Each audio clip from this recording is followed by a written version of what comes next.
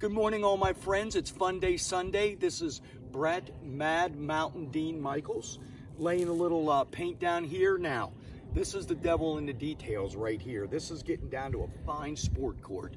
Uh, John laid the tape down. I'm laying out the paint like this, making sure it's right, making sure it's gonna look good. Try not to get no splatter, all right? That's what matters, don't get no splatter. I'm making this stuff up as I go. And by the way, the Mumford & Son beard has hit a standstill. They may have me beat. Right now, I'm only at Mad Mountain Dean level, all right?